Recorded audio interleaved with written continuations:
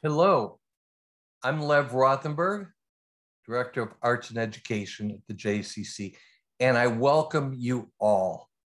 Tonight is the kickoff of our 23rd Ann Katz Festival of Books and Arts. I am very, very excited.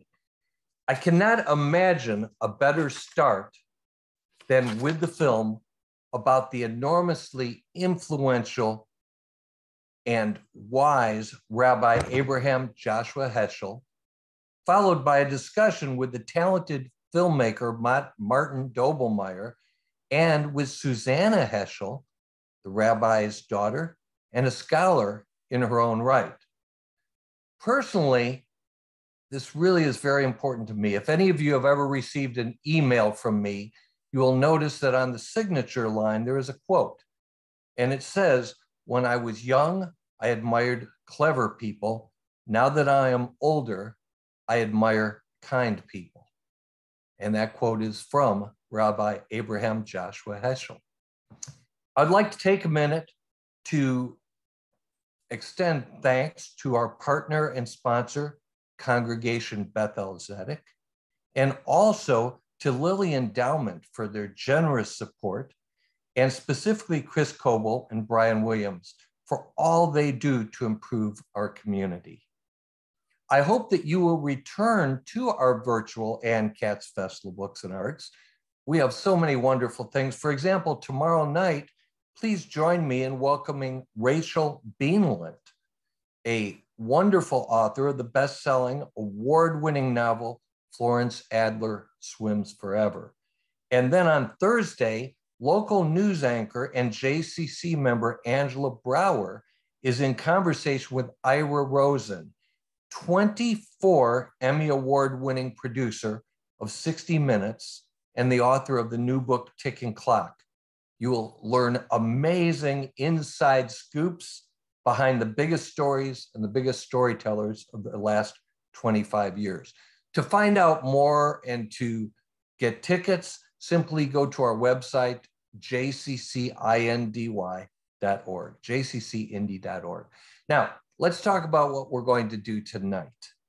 In a couple minutes, we will begin viewing the wonderful film, Spiritual Audacity. After that, Rabbis Dennis and Sandy Sasso will introduce Martin Doblmeier and Susannah Heschel, followed by a conversation with the two of them moderated by Rabbi Dennis Sasso. And then after that, we'll have maybe 15 or 20 minutes of Q&A. You may wonder, how can you do questions and answers when you can't talk? Well, it's easy. We have a tab at the bottom of the screen. Simply type your questions in on that tab. And you can type them in at any point. You don't have to wait till we say, please type in your questions. I'd like to take a minute to tell you a bit about my friends, Rabbis Sandy and Dennis Sasso, who will welcome Martin and Susannah following the screening of the film. Rabbi Sandy Sasso is the Rabbi Emerita of Congregation Beth-El Zedeck, where she served for 36 years. President, presently, she's the Director of Religion, Spirituality, and the Arts at IUP Arts and Humanities, award winning author of over 20 children's books. And I have a feeling if we were talking next year, it would be of over 22 or 23. Um, she serves on the editorial board of the Encyclopedia of Indianapolis, Indianapolis, Indiana Humanities, IUPUI Board of Advisors, co-founder of Women for Change of Indiana, and the first woman ordained by Reconstructionist Rabbinical College. Yes, she's a busy woman. Rabbi Dennis Sasso, probably most importantly, is the husband of Rabbi Sandy Sasso. But there we go. In addition to that, he is the senior rabbi of Congregation Beth-El Zedeck, we have served for since 1977, affiliate professor of Jewish studies at the Christian Theological Seminary, founding member and past president of the Reconstructionist, Reconstructionist Rabbinical Association. He writes and is active in civic and interfaith initiatives in the state and beyond. And I personally am very grateful for the work he's done for our community. And along with Sandy, he is a member of the first cohort of Jewish Legends of Indiana. What people may not know is he was born and raised in Panama.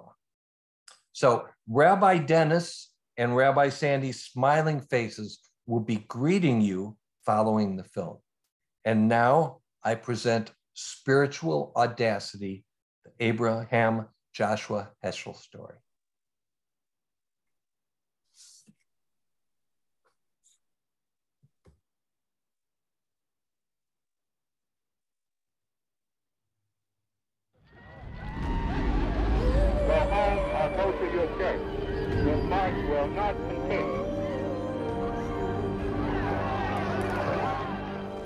On the front lines of the historic Civil Rights March in Selma, Alabama, standing along with Martin Luther King Jr., is one of the most remarkable religious figures of the 20th century, Rabbi Abraham Joshua Heschel.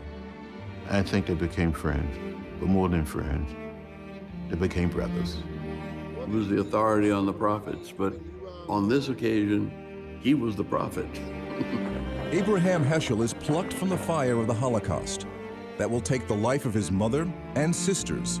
And in 1940, he arrives in America. And he's already come out of this magnificent dynasty of rabbis that go back for centuries. He's part of a dynastic royalty. He lived in excruciating ways with the reality that as the world and the family he grew up in was destroyed in Europe, most of the world was in fact indifferent. Remember, in a free society, some are guilty, but all are responsible. Over the next three decades, Heschel fights indifference through his vision of a God who seeks to partner with humanity. To be in real connection to God was to be in awe and radical amazement at the universe that God had created and his love for the prophets of the Hebrew Bible who dare speak truth to power. And Heschel taught that each of us has a choice to make. What side of history do we ultimately want to land on? He was kind of a theological Hemingway. He wrote in short, pithy aphorisms of enormous power. Heschel plays a pivotal role in reshaping the contentious relationship between Catholics and Jews. But I also have to remind them that my being Jewish is so sacred to me that I am ready to die for it. And he risks being in the forefront of the protests against what he believes is an immoral war in Vietnam. My father was attacked for so many of the public positions that he took. My father wouldn't be quiet. No one could silence him. I am an optimist against my better judgment. Somehow I believe in God. And somehow I believe and am convinced that he will have mercy and pity more than we deserve.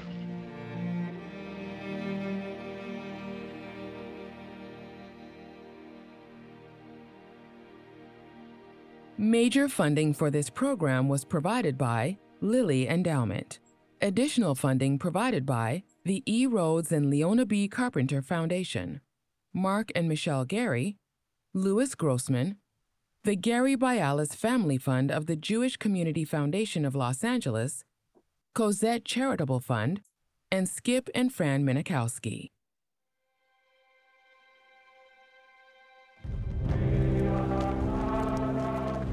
On March 7, 1965, a day that would be known as America's Bloody Sunday, civil rights activists take to the streets in Selma, Alabama. They march because so many black Americans are being denied the right to vote. You came down to make a mockery out of this courthouse, and we're not going to have it. When the demonstrators cross the Edmund Pettus Bridge, they are met on the other side with a show of force. But Dr. King himself said that you have to be certifiably insane to think that this handful of crazy young people with no power and no money can change America. And on this day, trying to change America will be very painful. They decided, uh, evidently, that they wanted to teach us a lesson. You are ordered to stop, stand where you are. This march will not continue. Before anybody could do anything, they just charged into the group on horseback.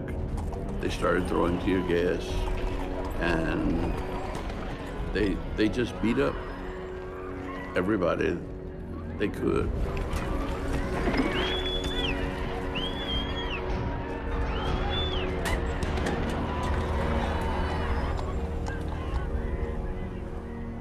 After we had been beaten, left bloody, I had a concussion on the bridge. I thought I was going to die. I thought I, I saw death. It was such a visible expression of hatred and disregard. It awakened the conscience of the nation. Martin Luther King Jr. understands a public response, a public outcry is called for. And Martin Luther King Jr. made this unbelievable appeal for religious leaders to come to Selma. Many rabbis, priests, nuns, and ministers came. Over the next two weeks, thousands make their way to Selma. One clergyman the movement feels is critical to attend is a writer and theologian from New York, Rabbi Abraham Joshua Heschel. There's an old tradition in Judaism saying that if I see evil in another human being, it's an indication that there must be something of that evil in myself, and vice versa.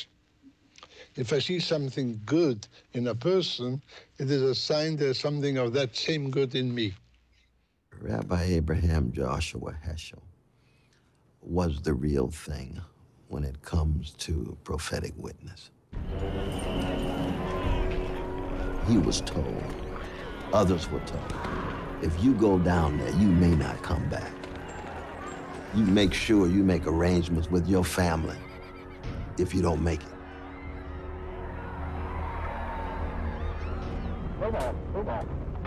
These were moral issues. These were moral decisions and moral commitments. And it was clear what you have to do. Dr. King wanted a presence that would suggest something larger than only a black led movement. You know, his greatest skill, in my view, was that he always put one foot in the Constitution and one foot in the scriptures. He always said, This is about right and wrong, this is about justice, this is not just about black and white. And for the civil rights movement, Heschel's presence holds a special significance. We in the African American church would, uh, from time to time, compare ourselves to the children of Israel. We identify with that struggle. Uh, we have been held as slaves, held in bondage.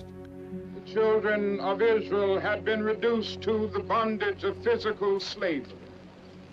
They were exploited economically, dominated politically, and humiliated by the power structure of Egypt. Then came that glad day when God sent a Moses.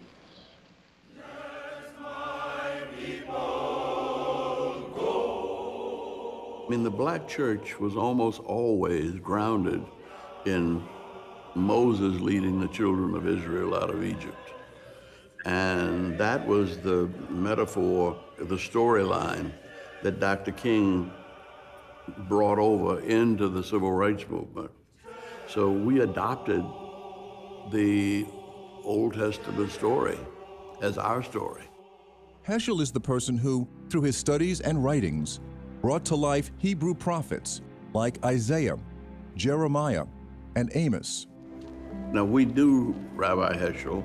His very presence was a kind of a spiritual authority. We had read his book on the prophets. Uh, he was the authority on the prophets, but on this occasion, he was the prophet. it was almost like you had somebody that walked out of the Old Testament and got in the front of the line. He saw and knew and understood that you can't take Torah seriously. You can't take the Hebrew Bible seriously and not then translate the encounter between Moses and Pharaoh into the immediate, into understanding what was happening with race relations in America. It is a great wonder that, given the incredible pedigree that Heschel had, uh, how he came to understand the biblical text from below and how he was able to engage with questions of social justice and oppression. But for the people around Dr. King, they were always interested in ecumenical relationships beyond the black church because it was a movement trying to reach out. And Heschel struck them immediately as somebody who was reaching out farther than they were. There is a story that when Heschel went with a delegation of rabbis to Birmingham, Alabama, they were met at the airport by the local rabbis who said, please turn around and go home because you're going to make life really hard for us. We understand where your sympathies are, and we might agree with those sympathies. We have to live in this reality, and you're going to cause massive anti-Semitism, and we're going to be the victims of it. There can be no compromise. We can only have law and order as long as the white man rules. You always worried about violence. In fact, we were told by the Justice Department that they didn't want Dr. King to march because they had word that there were snipers along the way planning to kill him. And he didn't pay any attention to it. A lot of people didn't want to be in the front line. They're afraid to be victims of the first line of attack. Heschel had no problem being on the front line, identifying with the struggle. Said the best of Judaism is fighting against racism. For Heschel, marching becomes a form of prayer. He would later say, I felt my legs were praying. And he said, if Isaiah, if Ezekiel, if Jeremiah were here, they would be shaking the finger at the community. It's always remembering the prophets chastised the people, but they loved the people of Israel. Well, Heschel, and I would say Dr. Martin Luther King, and obviously, they loved America, but they felt America was not living up to its potential greatness. Prophets are the ones that take people out of their sense of comfort and complicity. The prophets are ones that see an injustice in one place and see that as an injustice everywhere. Man is not man because of what he has in common with the earth, but because of what he has in common with God. The Greeks sought to understand man as a part of the universe. The prophets sought to understand man as a partner of God. Heschel understands that he and other Jewish leaders are being called to create community with other Christians, despite the fact that a generation earlier, too many Christians were indifferent during the Holocaust. We cannot exist separate and apart from the rest of humanity. And this was a particularly potent and powerful call, especially in light of the, the Holocaust and the sense of abandonment that so many Jews felt when it seemed like the rest of the world, you know, didn't lift a finger to, to help and support our community. My father was living in Nazi Germany, where the Christian theologians were debating whether they should throw the Old Testament out of the, the Bible because it's a Jewish book. To come to America and to meet someone like Martin Luther King, who made the Hebrew Bible central to the civil rights movement. The only normalcy that we will settle for is the normalcy that allows judgment to run down like waters and righteousness like a mighty stream. And who drew from this incredibly rich tradition of African American religiosity and theology that makes the prophets and the Exodus central. This is completely new for my father. His insistence that Jews needed to show up and show up on the front lines of the civil rights movement, the movement for Black equality and Black rights in America, was something that many of his colleagues and many Jews of that generation did not agree with or believe. That racism in itself is, for Heschel, a great sin. It's evil. And he is talking about this in the 50s and 60s at a time where the word structural racism doesn't exist. My father used to say if there's any hope for the future of Judaism in America, it lies with the black church. Why? Because there's a piety, a religiosity that he remembered from when he was growing up in, in Warsaw.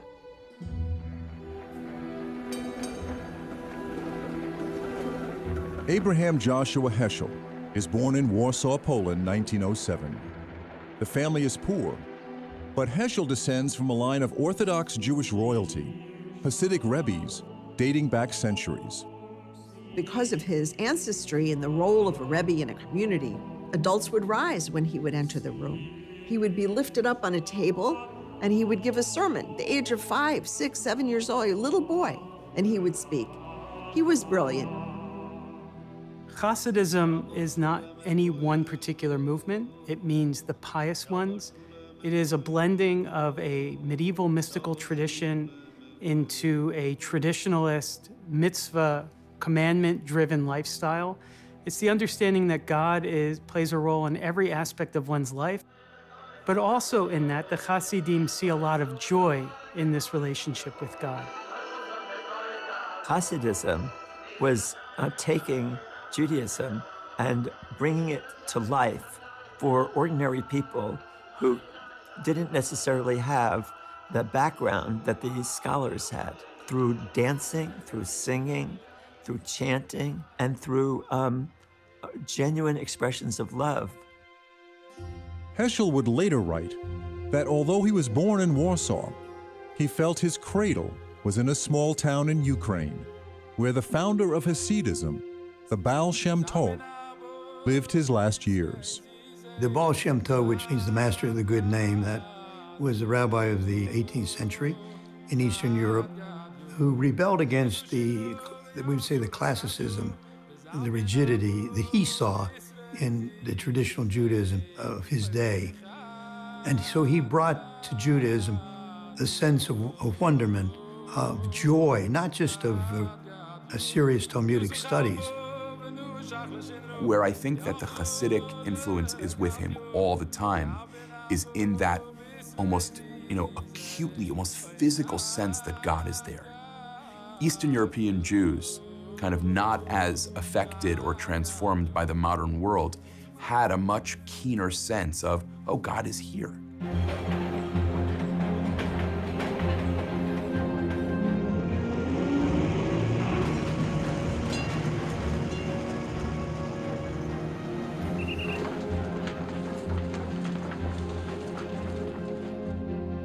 In 1927, at the age of 20, Heschel leaves Poland to study philosophy at the University of Berlin, Germany.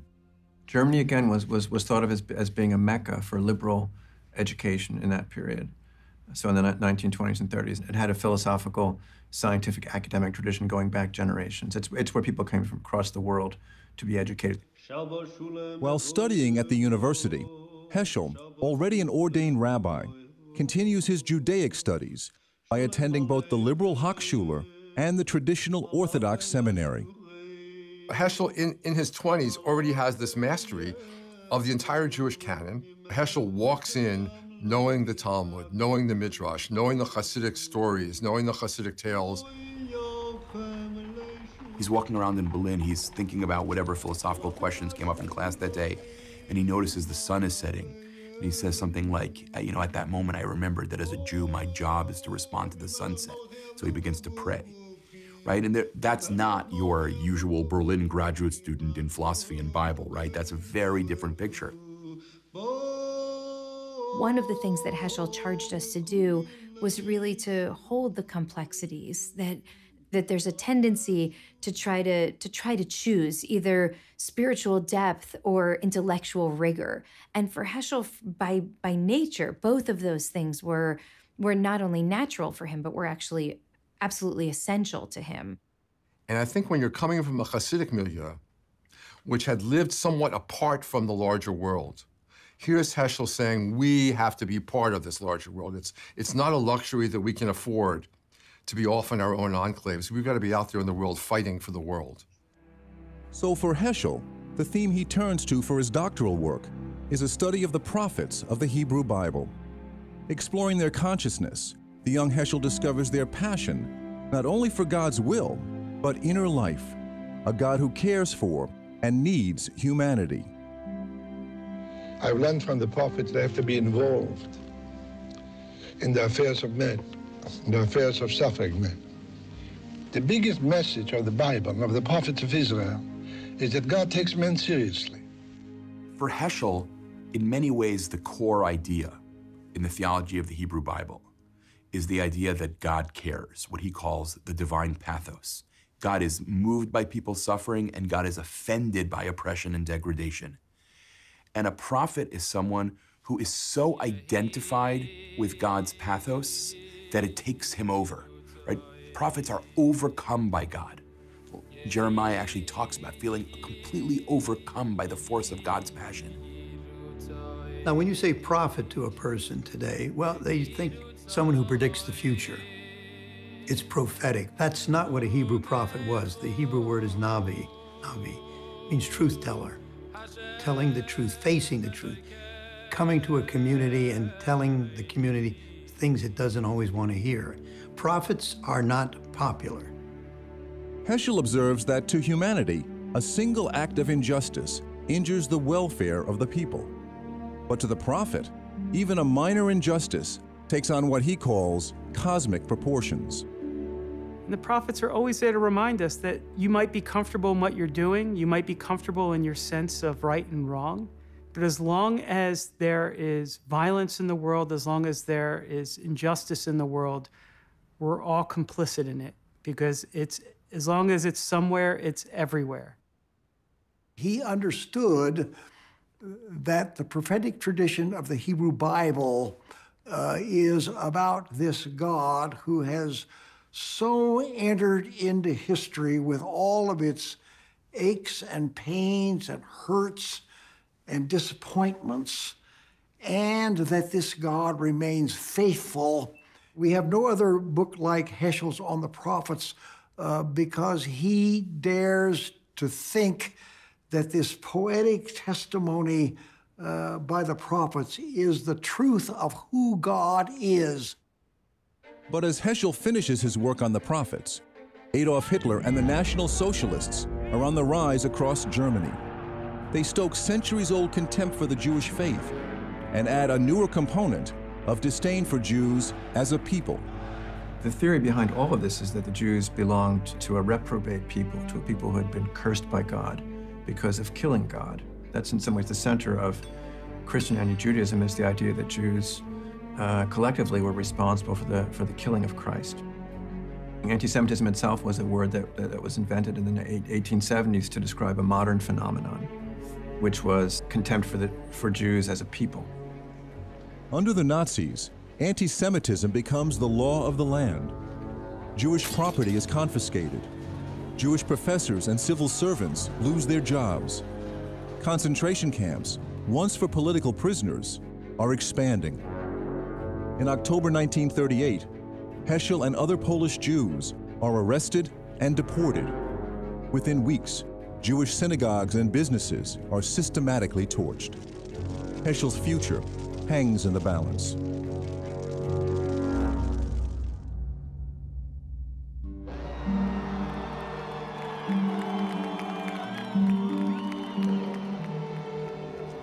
The story of American Judaism in the 20th century is a story of immigration. And all of them are in some way or another fleeing oppression. In the late 1930s, thousands of Jews are desperately trying to escape Europe. Too few are allowed to enter the United States.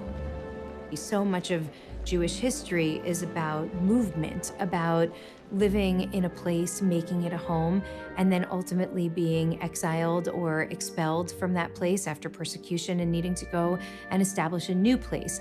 And so this becomes kind of core to Jewish identity. I believe on some level, Heschel was the embodiment of that journey. By early 1940, the German army has already begun to bring its reign of terror and murder across Europe. Like so many institutions, the Catholic Church was unable or unwilling to offer effective resistance. Under Pius XII, who became Pope in January of 1939, that the papacy did not speak out strongly against the Nazi regime. The reason was con concern that this would lead to the destruction of the Catholic Church as an entity throughout Central Europe.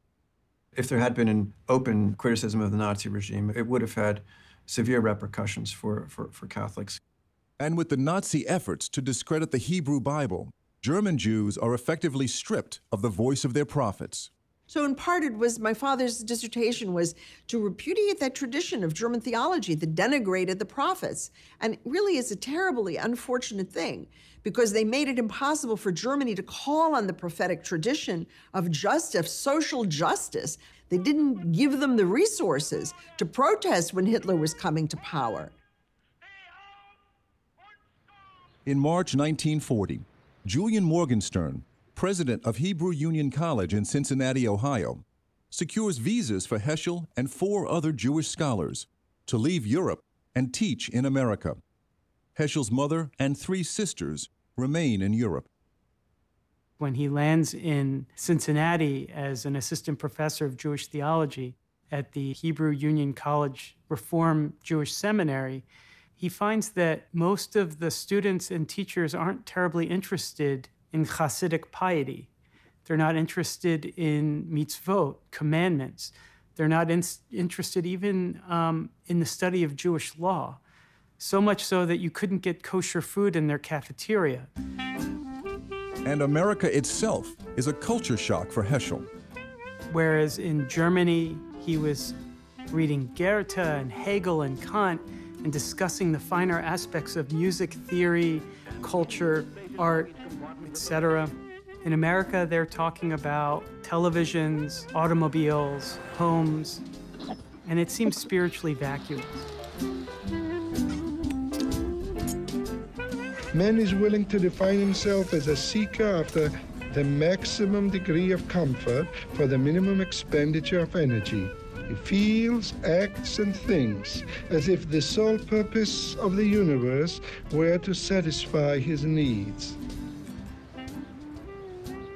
Heschel was very grateful, obviously, to be in the United States, his life saved during World War II, but he was not happy, he was not um, compatible with the ethos, the religious ethos. At a social gathering in Cincinnati, Heschel meets a woman from California, Sylvia Straus. She was gifted as a pianist, and my mother played, and my father thought my mother was quite wonderful and uh, invited her out. They date, and there is a spark, but Sylvia returns to the West Coast, and the two will not meet again for several years. Heschel's going to come to the United States and rouse this generation of Jews, which knows that, like him, it's privileged to be alive. He calls himself a brand plucked from the fire. But in that way, all of the Jews in America, to some extent, know that because they're reading the newspapers and they're watching their cousins, literally their cousins, who are caught in Europe, being gassed. I kill Hitler because I don't consider him human anymore. I kill Hitler because he is a beast, the dangerous beast. According to an ancient Jewish dictum, he who saves one man is regarded as if he saved all men. He who destroys one man is regarded as if he destroyed all men.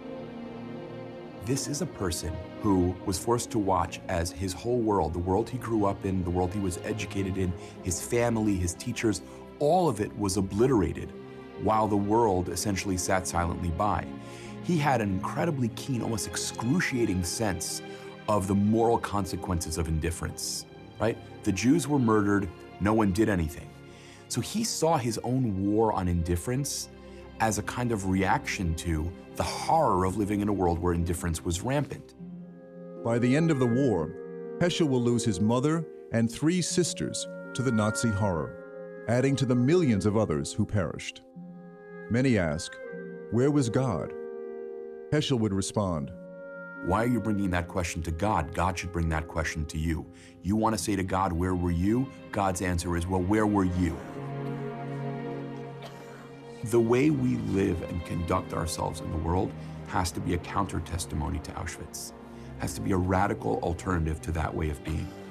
If modernity, in his mind, leads to the degradation of human beings, what it means to be a Jew in the modern world to a significant degree is to fight with everything we have for the dignity of people who are degraded.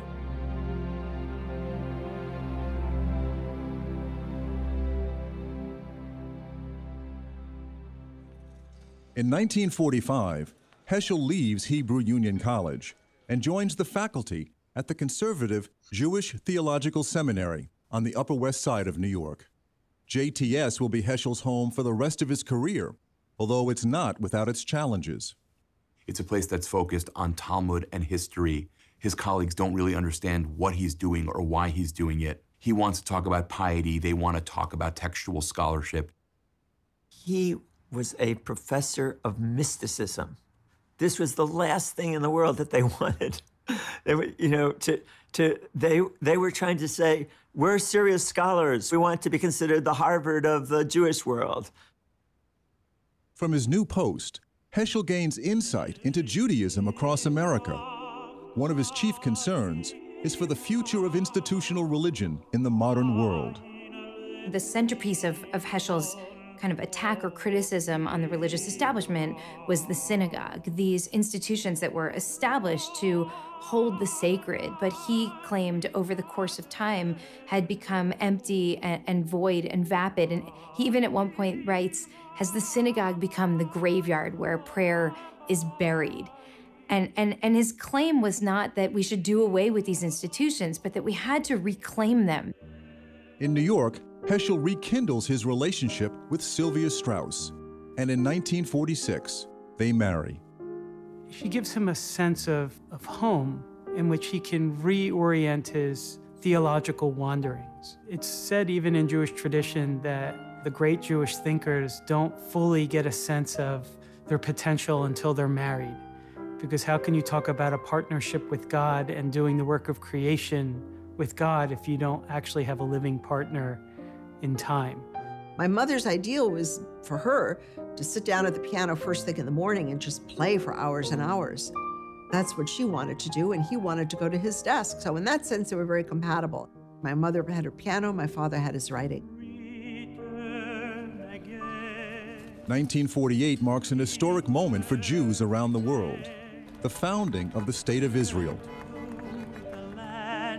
So, Israel was seen as the one place where many Jews thought they could find safety. We could no longer count on the good ethical consciousness of the world when the ethical consciousness wasn't there. Israel, Heschel insists, is not atonement. And to call it compensation, he says, would be blasphemy. We do not worship the soil. Instead, Israel is endowed with the power to inspire moments in which God's presence is palpable.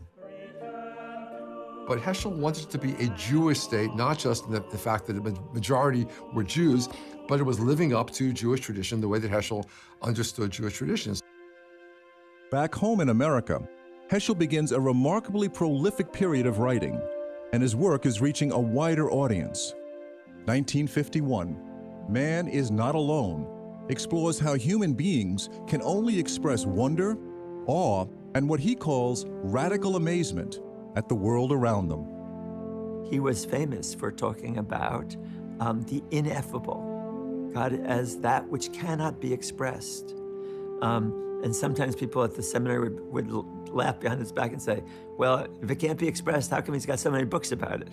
But, but the truth is, is that the books were pointing at a reality that you could only fully understand by having the experience that he was talking about. Wonder for Heschel is the alternative to expediency. He essentially says people face a choice. We can live in what he calls the way of expediency, where we go through the world asking how the world can serve us, how we can use things, exploit them. Or we can choose the way of wonder, in which we are fundamentally filled with a sense of gratitude, of indebtedness, a sense that something is asked of us, a sense that we are called to serve. America's leading public theologian, Reinhold Niebuhr of Union Theological Seminary, writes a glowing review of Man is Not Alone, saying Heschel is destined to become a commanding, authoritative voice in the religious life of America. The two form a unique and lifelong friendship. But it's Heschel's book on the Sabbath that reaches well beyond the Jewish audience.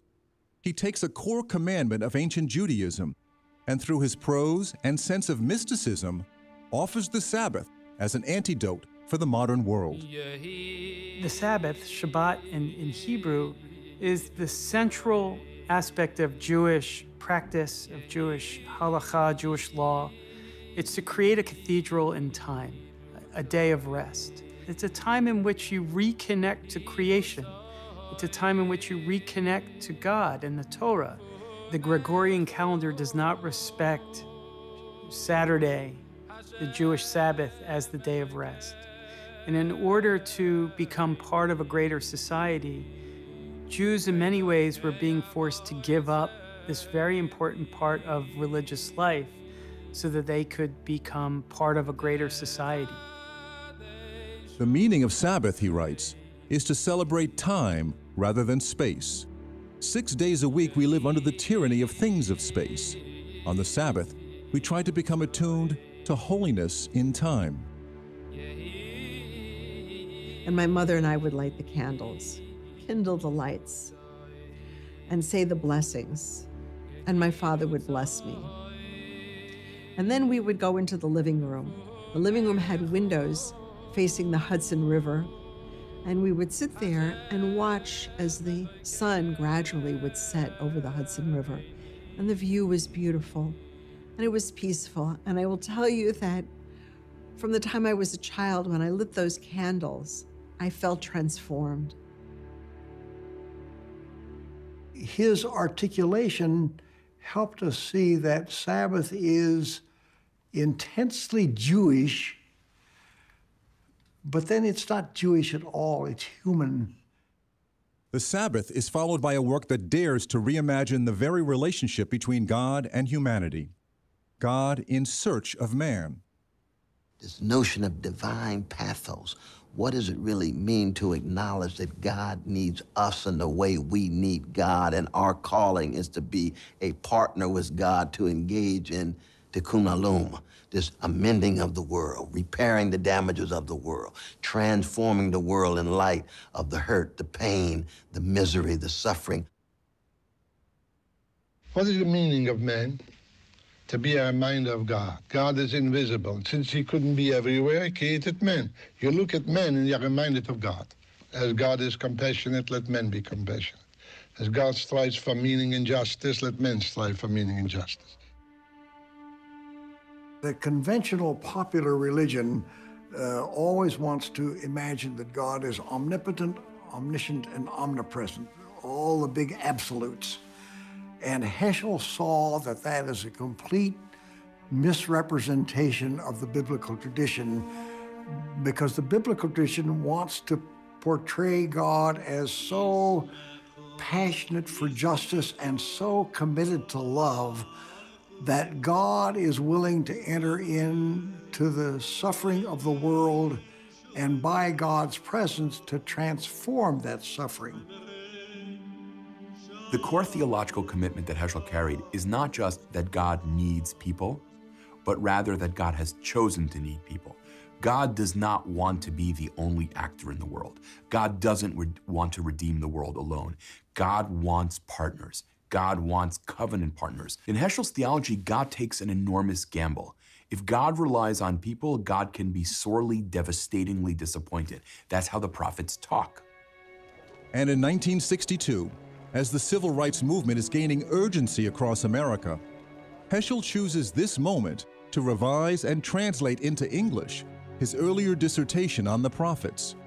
This is the version that will inspire many of the civil rights leaders. Every preacher there knew who he was, and uh, Dr. King's copy was all underlined. It was almost as though he had memorized a lot of it. At the center of his great book on the prophets is his study of the prophet Jeremiah. And more than any other prophet in the Hebrew Bible, Jeremiah dares to give voice to what it was like to be face to face with God.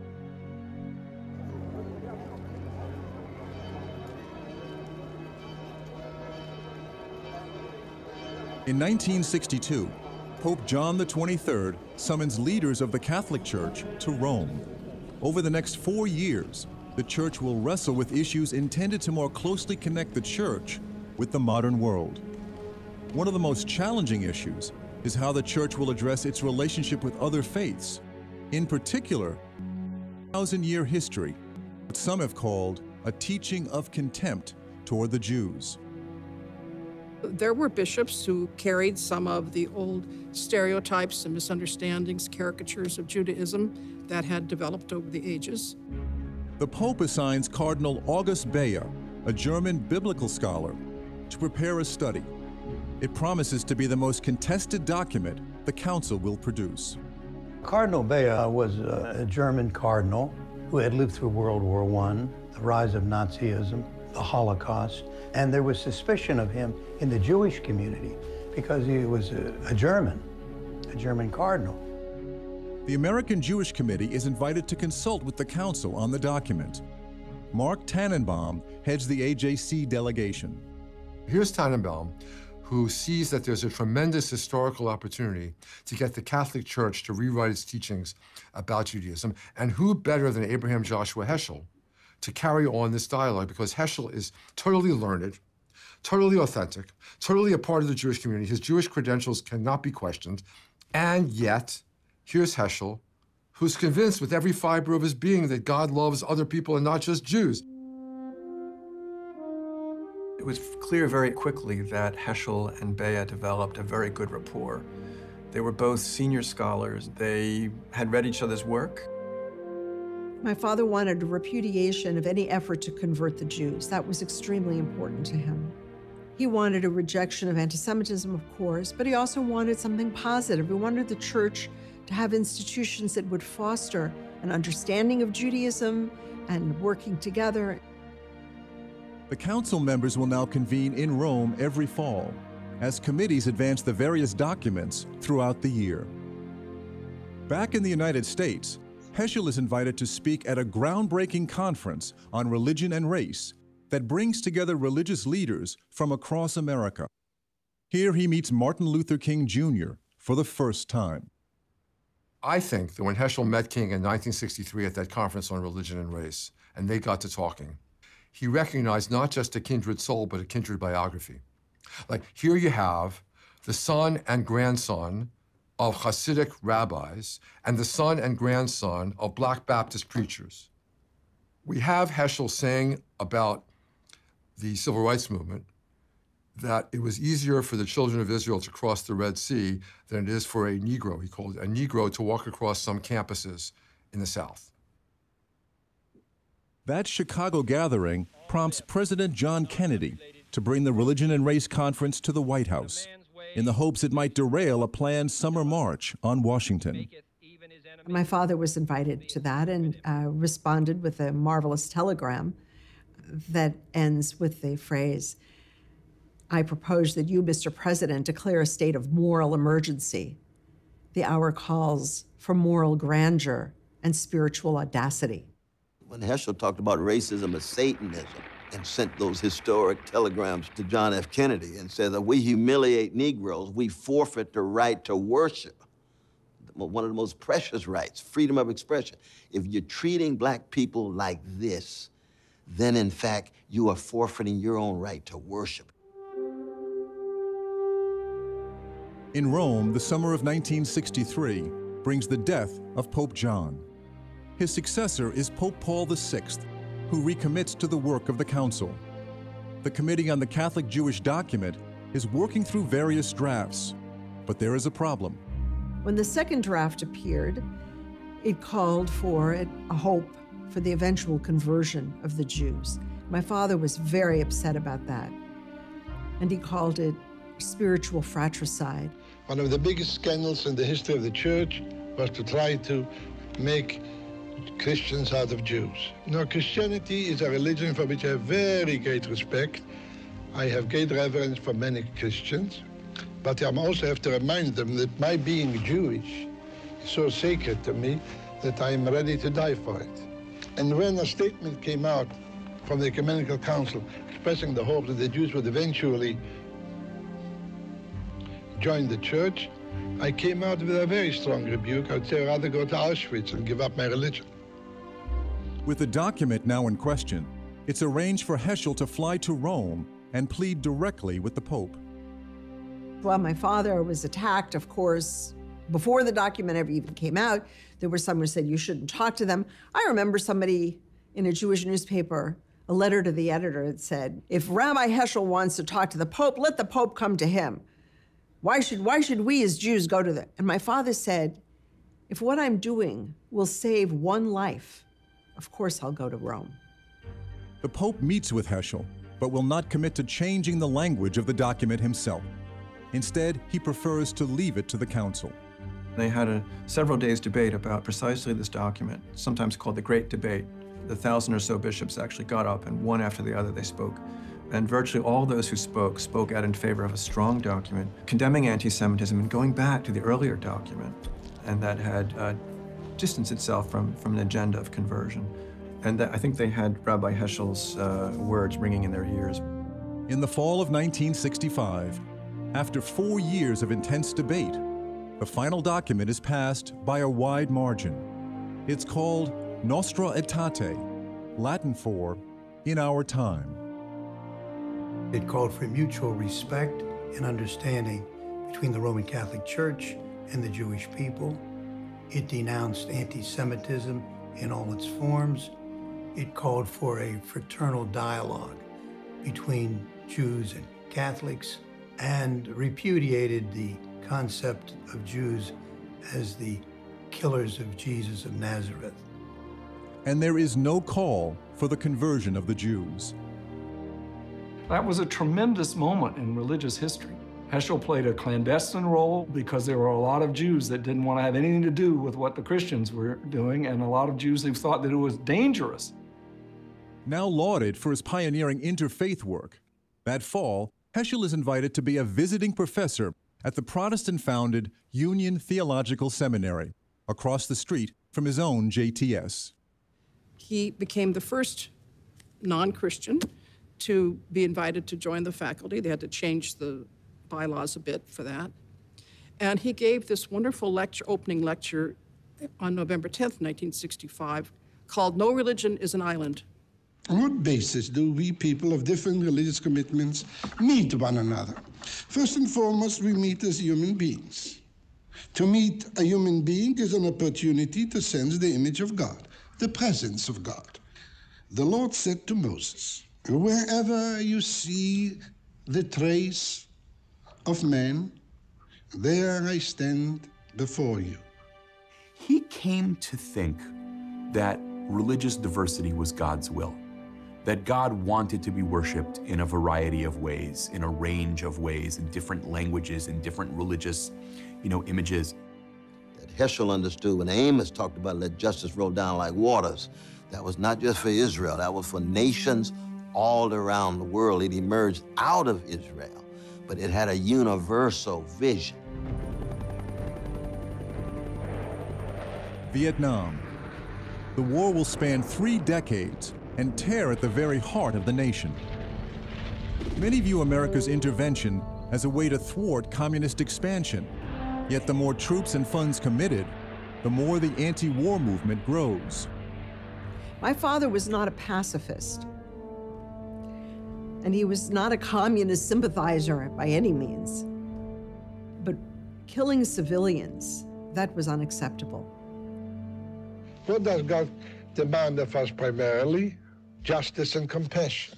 What does he condemn above all? Murder, killing innocent people. How can I pray when I have on my conscience the awareness that I am co-responsible for the death of innocent people in Vietnam? Heschel becomes co-chairman of a nationwide effort with over 50,000 clergy and laypersons calling for an end to the war. One of the things he said to me that has never left me that if you're the heir to a great religious tradition, it's your responsibility, it's your duty, not just your right, it's your duty to speak in the name of that tradition as best you can. And the most important religious issue of our time is to end the war in Vietnam. In April 1967, a major event is scheduled at New York's Riverside Church, nearby Jewish Theological Seminary. The keynote speaker is Martin Luther King Jr. At Heschel's urging, King will deliver a much anticipated statement against the war. I speak as a citizen of the world, for the world as it stands aghast at the path we have taken. I speak as one who loves America. To the leaders of our own nation, the great initiative in this war is ours. The initiative to stop it must be ours. There were people within SCLC, within Dr. King's organization, on the board, saying you cannot mix your concern with ending the war in Vietnam with, with civil rights. You could lose your influence. Vietnam, he thought, was completely unjustifiable, and he knew that King had leverage in America in a way that he would never have. A nation that continues year after year to spend more money on military defense than on programs of social uplift is approaching spiritual death.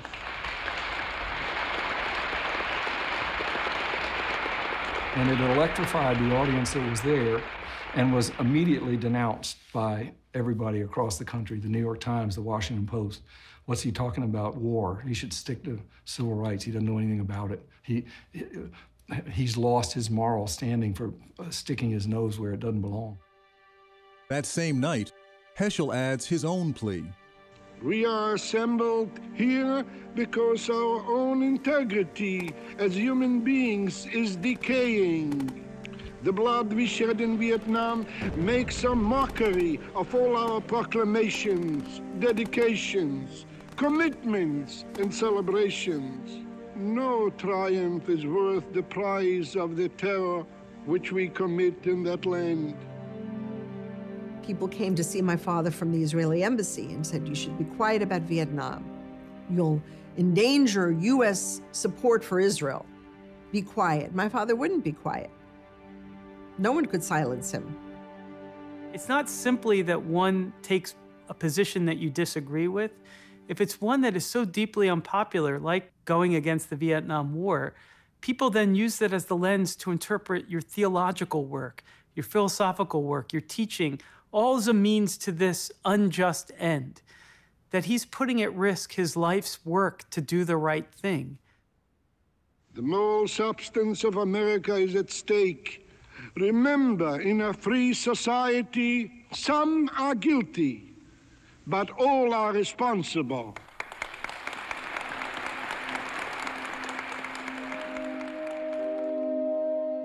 My father had a heart condition and his health was fragile.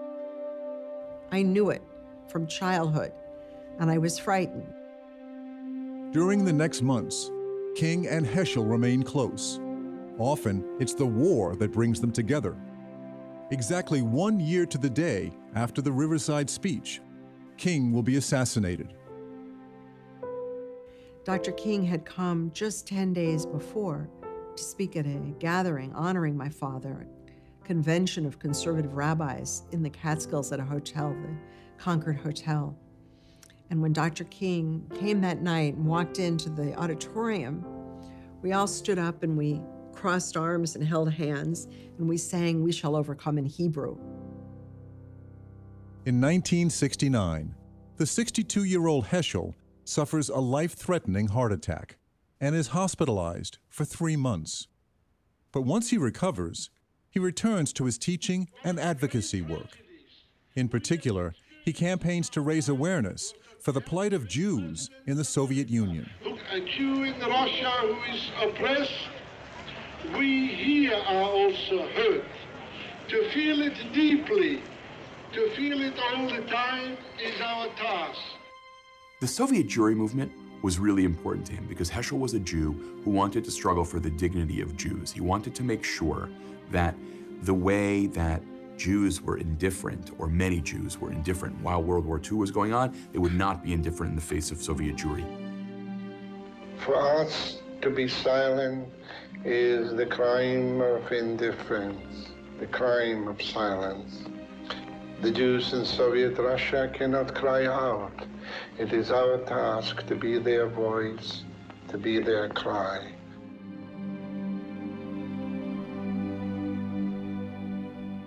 I was home that Friday. We had a Shabbat dinner with guests, and uh, my father was exhausted. And then we all went to sleep. And the next morning, my mother woke me up screaming that my father had died, that he couldn't wake up. She couldn't wake him. People say in Jewish tradition that to die in your sleep, especially on the Sabbath, is a kiss from God. Abraham Joshua Heschel dies December 1972 at the age of 65. Over his lifetime, he forged a new path for modern Judaism that honored the piety and traditions of his faith as he confronted the great injustices of his day. His commitment to embody the covenant between God and humanity to renew the world remains an inspiration for Jews and non-Jews alike. If there's one word that would cover Abraham Heschel, it was passion. He never doubted the truth and the reality of God's holiness. So, whereas I don't think he ever thought of himself as a prophet, he became a prophet for everyone else. Most synagogues have his picture up on their walls, even when their leadership 40, 50 years ago took real issue with some of Heschel's political leanings. The sentence that I think he writes more than any other over the course of his writing is a very simple sentence something is asked of us. When he talks about wonder and awe and radical amazement, it's as if suddenly we discover yes, there are other dimensions to my life as a human being that I, I can explore.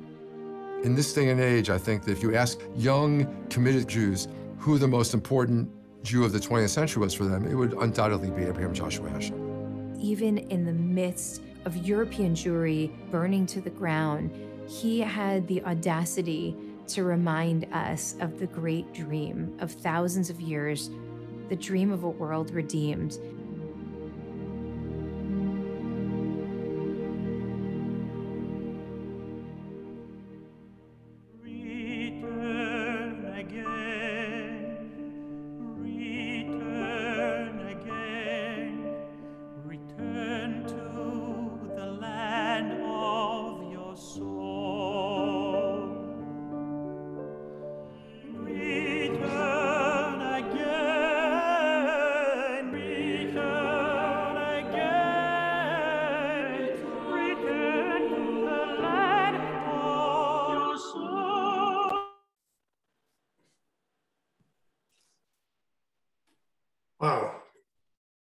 Lot to absorb, a lot to reflect upon. And uh, that's what we hope to uh, accomplish during the next 45 minutes or so. Uh, before we move on to the conversation uh, segment of our program this evening, um, I'd like once again to thank Chris Coble, the Senior Vice President for Religion of the Lilly Endowment, for extending this invitation to Beth-El Zedeck and to the Jewish Community Center, uh, the invitation that has made this evening's event possible. Uh, I'd like to thank also Reverend Brian Williams of the endowment for the very fruitful contributions to the conversation that brought us uh, to this evening's program. As always, it is a pleasure for Sandy and me to work with our dear friend and congregant Lev Rothenberg of the Jewish Community Center and to support the Ann Katz Festival of Books. I'd like to acknowledge also uh, Jackie Goldstein.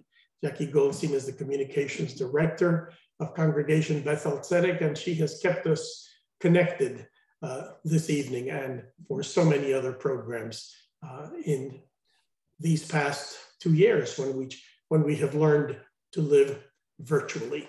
Uh, of course, tonight we are learning to live virtuously. Uh, the documentary we have just uh, seen this evening is a result of the vision and the talent of Martin Doblmeier, whom it is my pleasure to introduce. He and Susannah Heschel, who will be introduced soon by Sandy, will serve as our panel of experts in further exploring spiritual, spiritual audacity, the Abraham Joshua Heschel story to which we have been treated.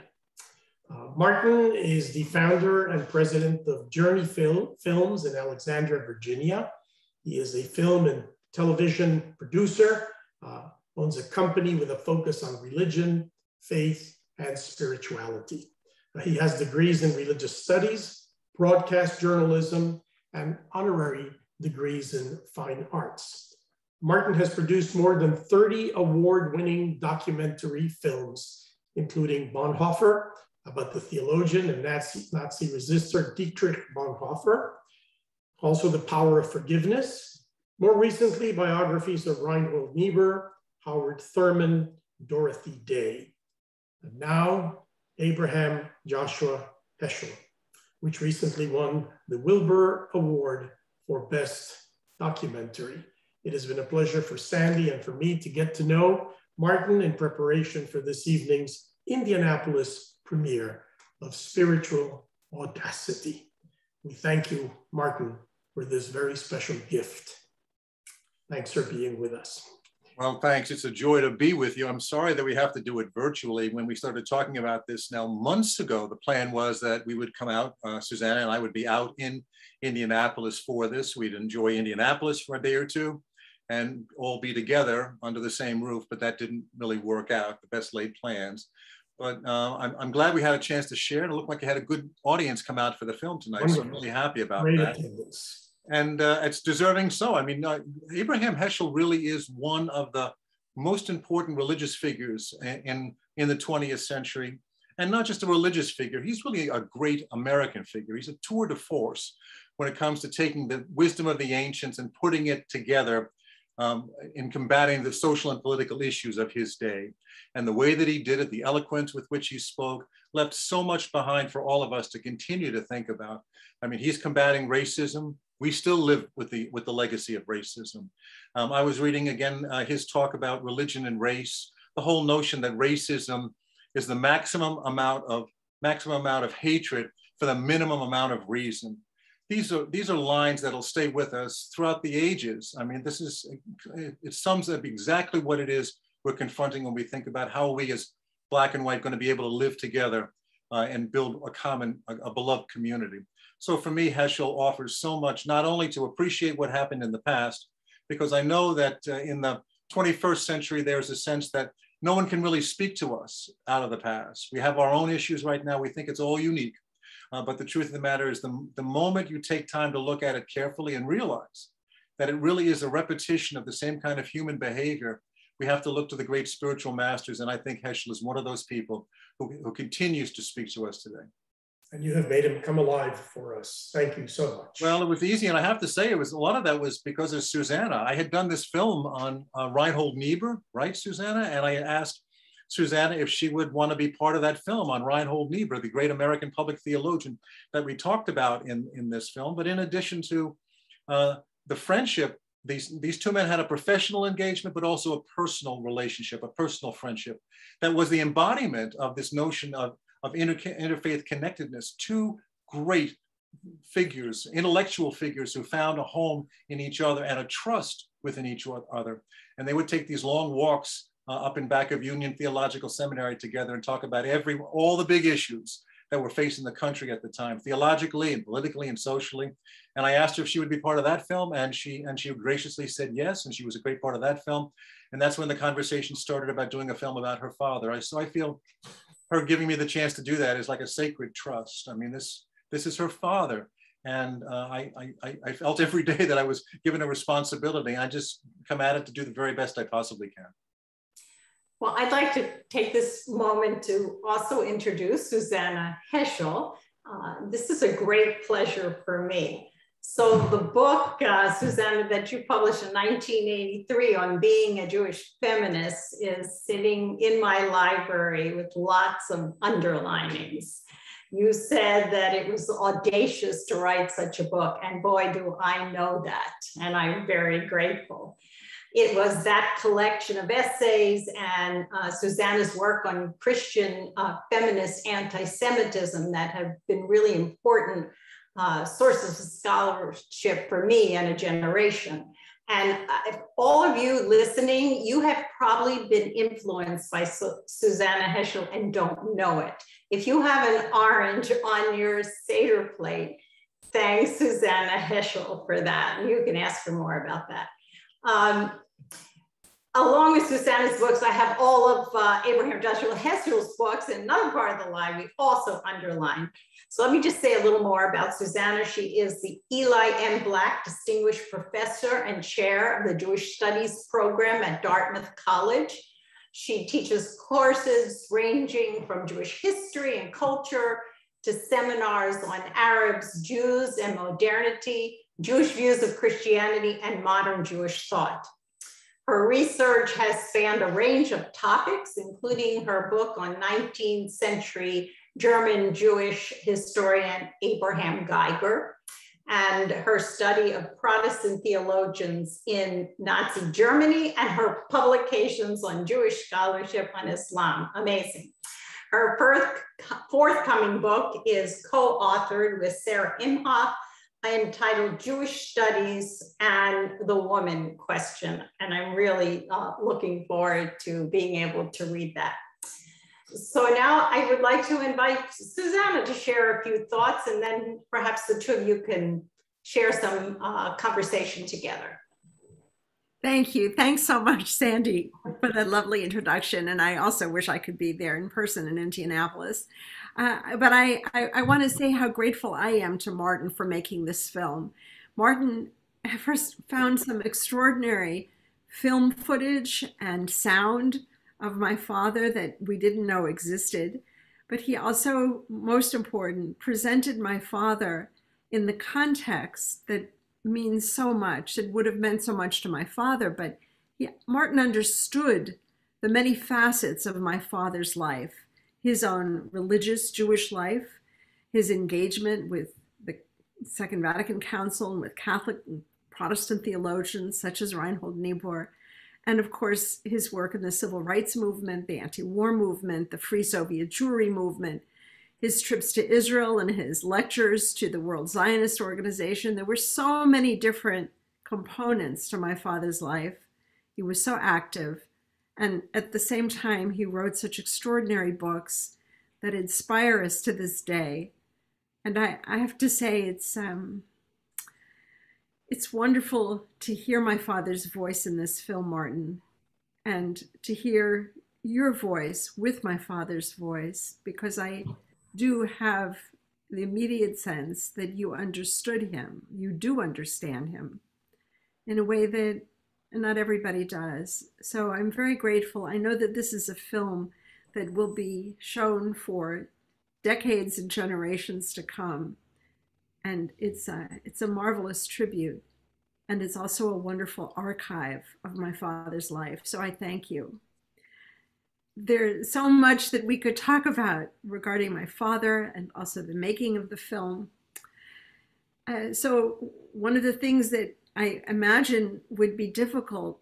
You are a filmmaker, Martin, who has looked at theologians, uh, and the theologians that you selected are all people who were active politically and socially, and who also wrote books. And I wonder, as a filmmaker, if it's difficult for you to balance the active engagement in society on the one hand with the ideas of the book, uh, I, I, imagine to, to take arguments from a book, ideas from a book, and to present them in a film, that must be a challenge. I think you did a wonderful job presenting my father's ideas, but I think as a filmmaker, that must be difficult.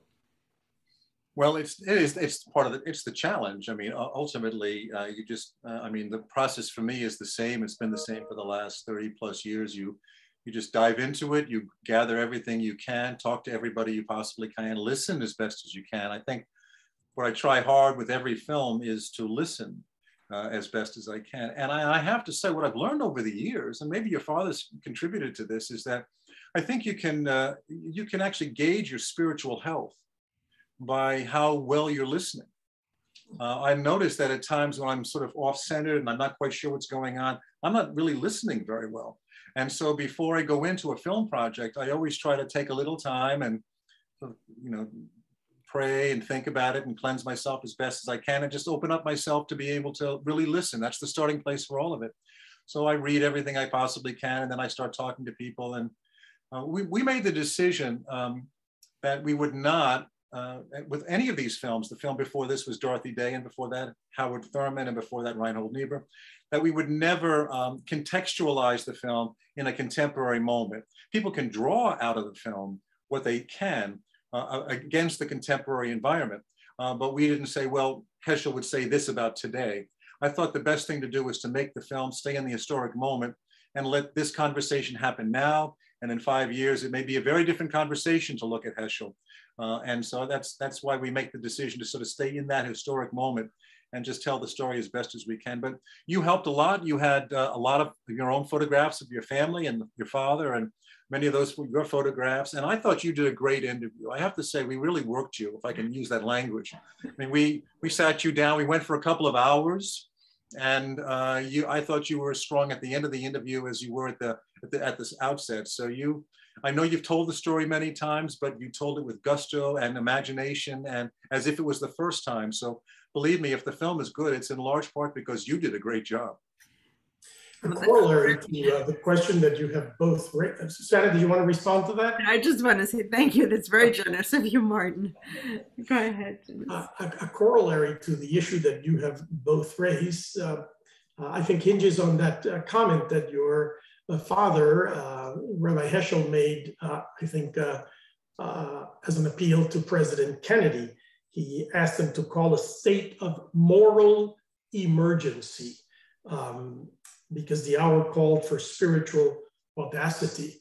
Uh, what would you, Susannah, consider um, to, to be the state of spiritual emergency uh, at which we live in these days? How would your father respond to, to, to that moral emergency? What is it, and what would he say? So, there are so many things that my father was deeply concerned about in his life that remain with us today poverty, racism, corruption, the mendacity of the government that he used to speak about. These are still problems with us today. He was deeply concerned about these issues, about poverty, about the violence committed in our name by our government, then in Vietnam and Cambodia. He was so concerned that it was difficult for him at times to sleep, to focus on his work. He was overwhelmed by the troubles of the world and by the suffering. Martin showed photographs from Vietnam. It was my father was horrified by the way the war had simply become war crime. He was also concerned about the failure of people to speak up. I just might add that there were some people who would ask my father, Should I burn my draft card? Or should I join the Freedom Riders and go south? Very dangerous. My father would never tell them what to do. He felt that we have to make our own decisions. My father made his decisions, and one of the challenges was whether he should go to prison during the war in Vietnam as an act of protest.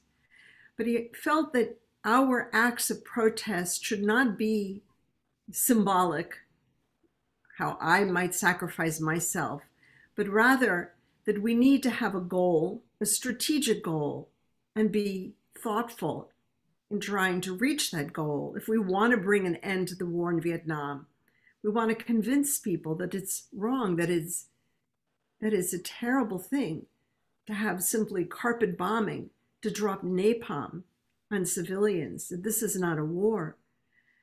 Talk to people, convince them. We've become so polarized these days, and there is such terrible corruption that mm. we see over and over. That horrified my father, and of course, that came for him from Jewish tradition, from the prophets onward. The biblical prophets who also talk about the disavowal of our own corruption, of our own sin. Jeremiah says, You have blood on your shirt and you still say, I am innocent. That, that corruption, that disavowal was of great concern to my father. And so I would say that we can see quite clearly what we need to do today. It's very clear.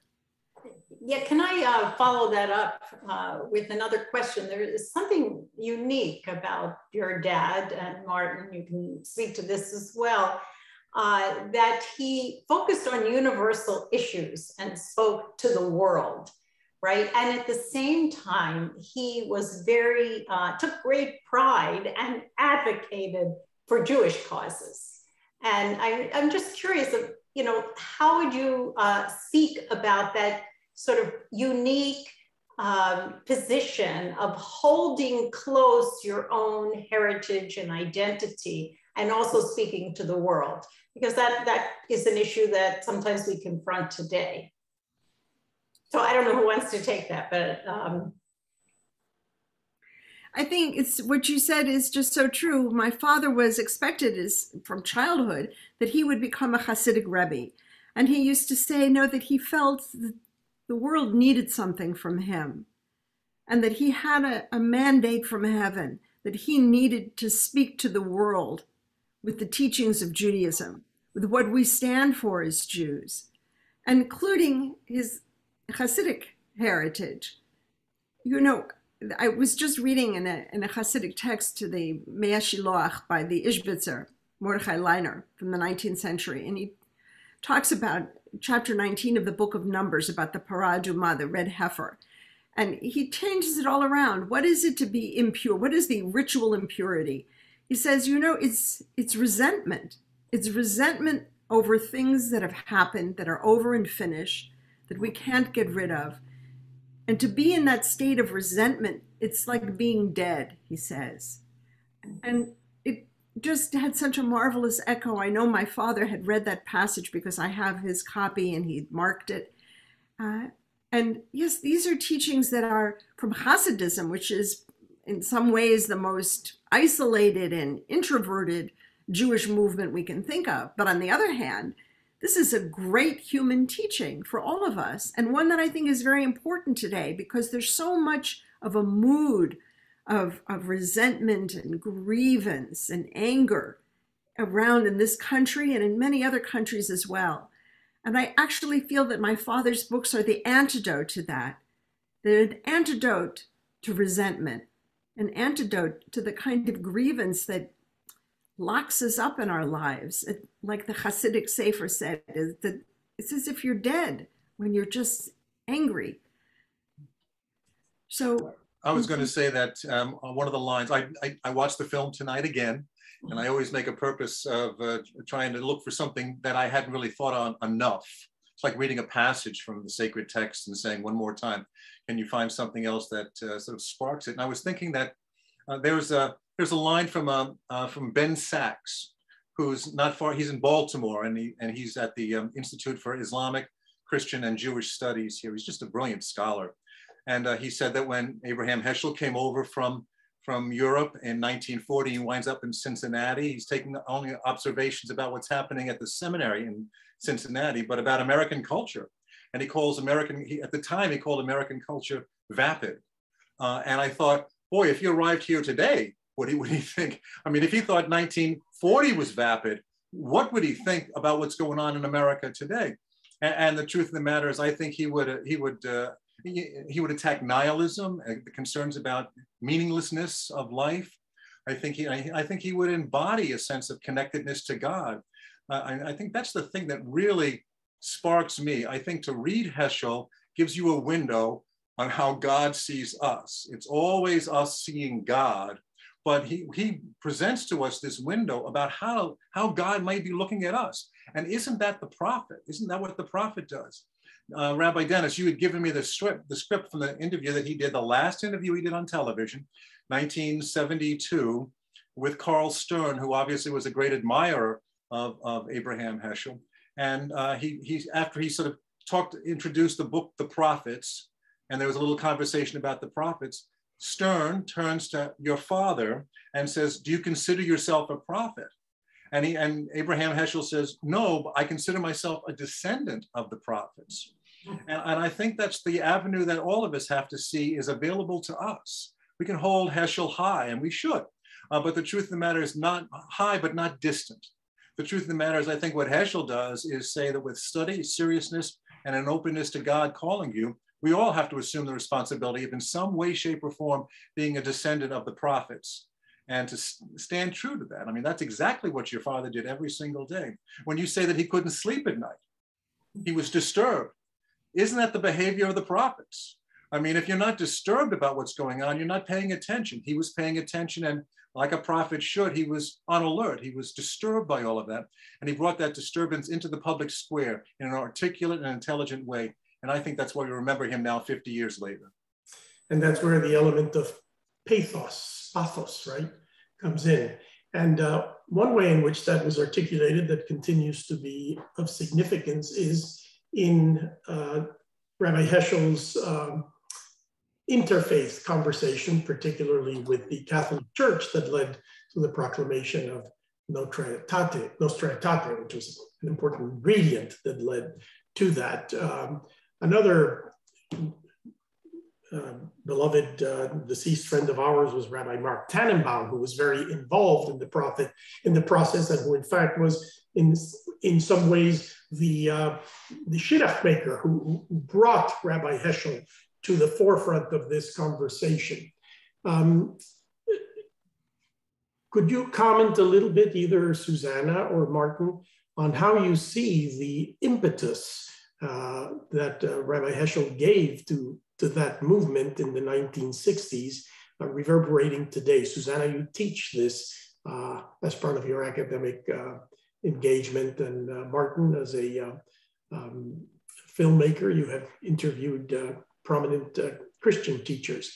Where, where does what was the unique contribution of Heschel to the interfaith movement that we can continue to build upon today? Well, there, there are many things that, many ways to answer. I'll just make a few comments and then uh, Martin uh, will continue. I, first of all, my father's engagement with Christian theology goes back to his student days in Berlin. He was the University of Berlin starting in 1927.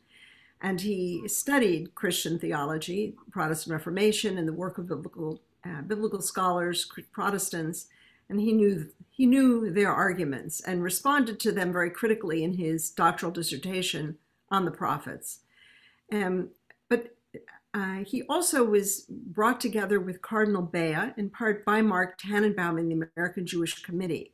And Cardinal Bea, who was in charge of Nostra Aetate, had studied also at the University of Berlin, including with some of the same professors that my father studied with, though earlier. Bea was much older.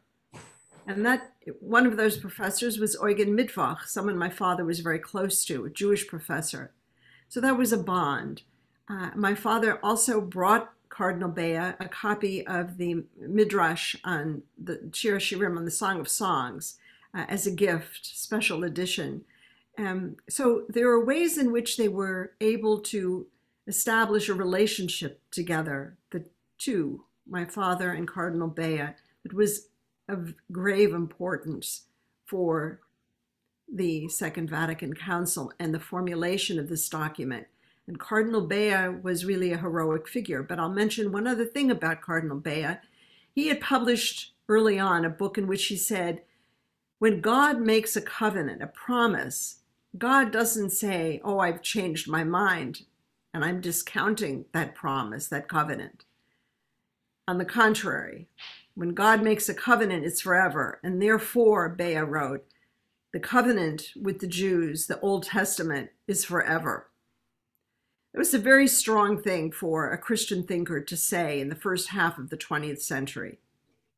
But there's one other thing that I think is important. So, my father's contribution, in a sense, goes back um, perhaps to Jacob Emden, the 18th century European Orthodox rabbi who was amazingly positive about Christianity in extraordinary ways, far more than what you find even among 19th and 20th century liberal rabbis and theologians. My father was very much in that tradition, appreciating what Christianity does for Jews, its contributions to religiosity. My father said, No religion is an island, because if Jews live in a community, in an area where Christians are pious, Jews are also pious. And if the Christians are not pious, it affects the Jews as well. We affect one another. And it's that word, affect, that is also important in understanding this. That is, it's also about the relationships, the emotions, the affect. My father had relationships with Christian theologians. As you mentioned with Reinhold Niebuhr, they didn't just exchange ideas or read each other's books, they were personal friends. And that was something very new in the history of Jewish Christian relations. That they were personal friends. They laughed together, they talked together. The very idea that Reinhold Niebuhr, the greatest Protestant theologian in America in the 20th century, asked a Jew to deliver the eulogy at his funeral. That's extraordinary. It's extraordinary in the history of the last 2,000 years.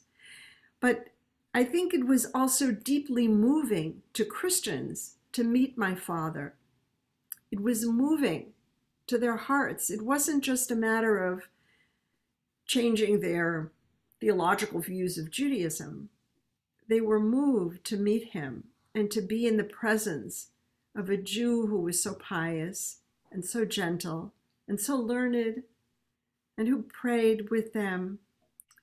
That was very important and very special and something that was for the priests and the nuns who came to our home for Shabbat or for Passover Seder. This was radically new and extraordinary and deeply moving to them. So that too is an important element. I, I was going to add. I think I think Reinhold Niebuhr invited your father to say the eulogy because he just wanted a good eulogy. He wanted to make sure he was going to get a really good eulogy when he died, and that and I know and your father did. He delivered on the promise. They came together and did that. I think the sad thing, and I think in some ways the triumphant thing about a- Abraham Heschel was that this is the early 1960s. The scar, this, what, what had happened during the Holocaust was still on everybody's mind at the time. This is part of what the Catholic Church was trying to figure out. How is it going to claim its role, and rewrite, maybe even rewrite its own history for its involvement or lack of involvement in what should have been happening in Germany in the 1930s with the rise of Hitler, and uh, the loss of your of your um, of your grandmother, uh, Abraham Heschel's mother, and his three sisters, the personal tragedy that was experienced in the family, the knowledge of all that had happened, and how the churches, the Catholic Church in particular, did not step up and, and risk itself really in any way. The Concordat that the Catholic Church signed in 1933, saying that there's going to be peace between uh, between the Catholic Church in Germany and uh, and uh, and the German government, which was, I think, a, a tragedy that happened. And yet, your father, when invited to come in and sit down and help guide the church, the Catholic Church, into making this monumental document, was able to put all of that aside, not dwell in the anger and the hatred and the resentment that he could have easily borne, and found a way forward. And I think that it became really an historic document. It's the most important document I think that came out of uh, no, uh, the Second Vatican Council, and it continues to reverberate now, so many years afterwards. And your father was a key part of that. Yes. Susannah, can I ask a, another question? You mentioned about how you know so many people came to your home to be to be with your dad, and you also talked about lighting Sabbath candles with your mom and the family and what that all meant to you. Can you say something about what it was like growing up in your household uh, and how that may have influenced your decision in terms of your career and your scholarship? Well, let's see. There's so much to say, but I, first, I'm an only child, and my parents took me with them wherever they went. Uh, and so I used to go and listen to my father lecture frequently, and I enjoyed it very much. Uh, and um, at home, we um, there was a lot of playfulness. What can I say? My father, as a child, only read books and studied. And so I think he really enjoyed having a child and being a father and playing games with me. And he, and reading stories to me and telling me stories. My bedtime stories were really Hasidic stories or stories from Midrash, from commentaries to the Bible. Uh, when I finally went to elementary school, I, I found studying the Bible, I already knew what I was, supposed to learn because it was so much a part of, of my home.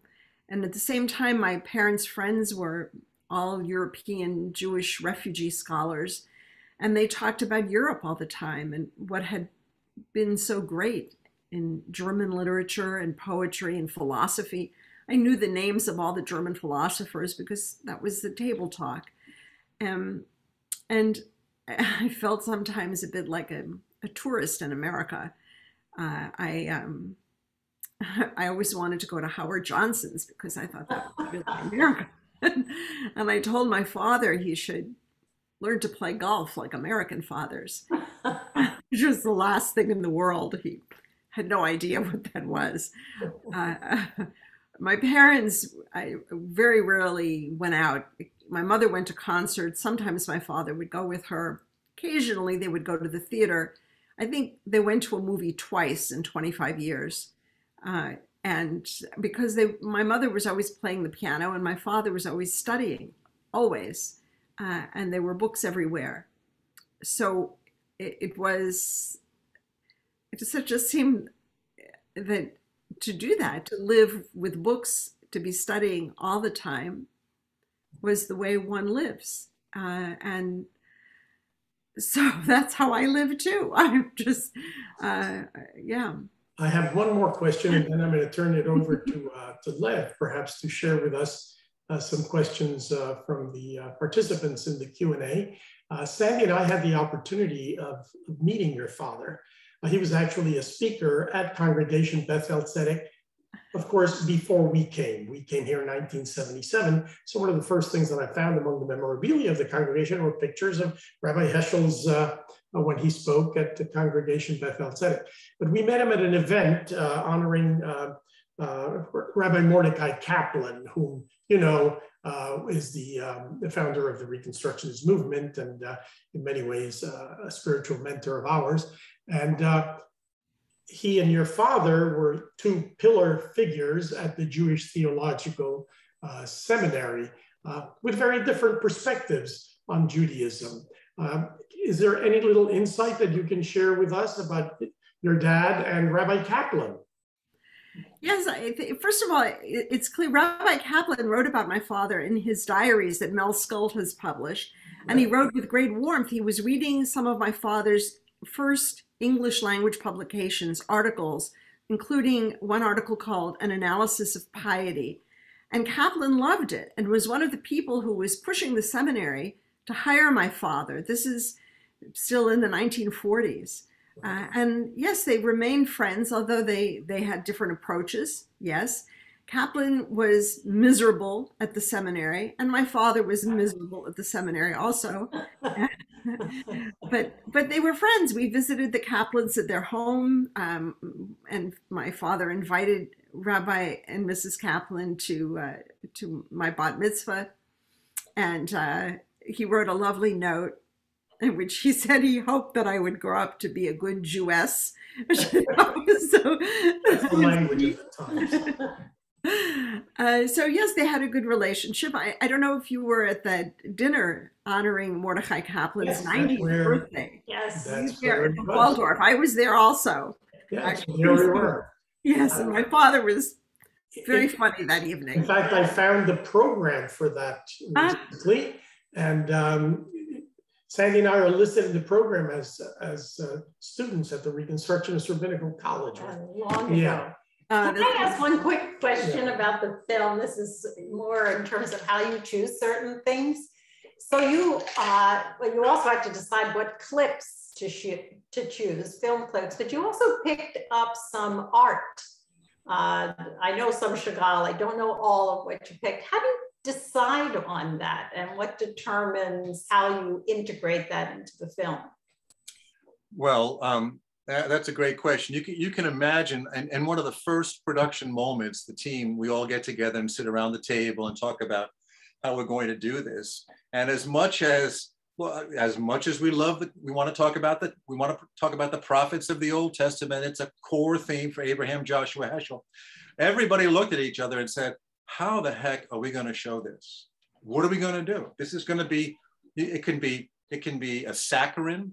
It can be reenacted. It can be just, it, can, it can really, how we portray the prophets could sink the film in, in a lot of people's eyes.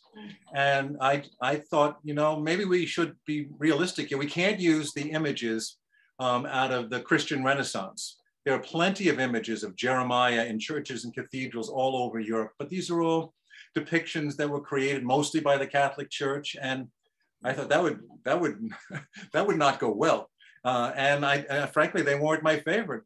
But then I, I actually, I have a small collection of books about Marc Chagall, and it just dawned on me, if I could get them to agree to uh, let us use some of these characters, and they were talking specifically about Jeremiah, and here's Chagall's images of Jeremiah, and I thought, you know, this this can this can work, and let's let's try and keep working on this because it seems thematically right and appropriate.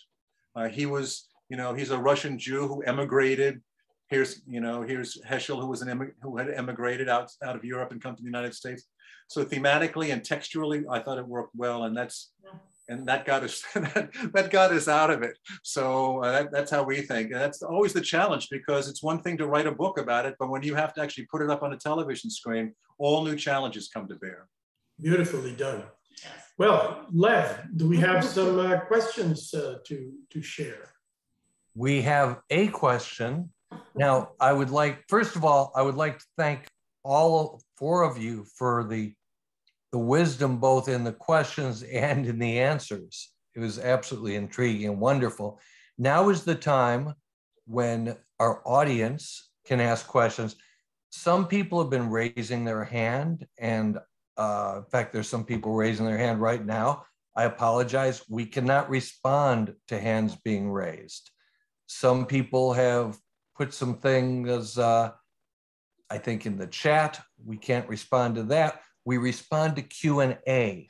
So please, if you have a question, type it into the Q&A tab, and I will gladly look over it.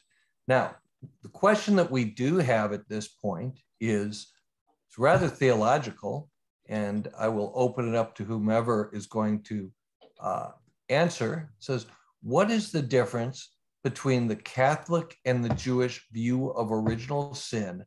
And did Rabbi Heschel ever speak to this? Susannah, I think that's yours. I can't recall any uh, really original sin. Want to talk about that? I know actually uh, that's considered one of the, the points of difference between Judaism and, and Christianity, that uh, we don't have the doctrine of original sin. But perhaps um, Sandy and Dennis would like to add something. Well, well no, I mean, we don't want to take it away from you guys. This, this is your program. I think you have you have answered it. Uh, so Rabbi Heschel never particularly um, addressed that. The only thing we would we would say is that, in fact, in Judaism we have a concept of original virtue rather than original sin. The human being uh, enters the world filled with possibilities. And uh, it is uh, uh, in the process of growing up that, the, that we develop certain tendencies. The tradition does speak, speak about the human being being endowed with a uh, tendency um, to